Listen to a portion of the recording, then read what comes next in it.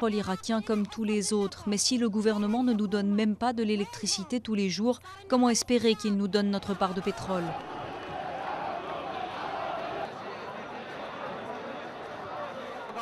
Le Premier ministre avait dit qu'il mettrait en place un gouvernement d'experts et de technocrates qualifiés.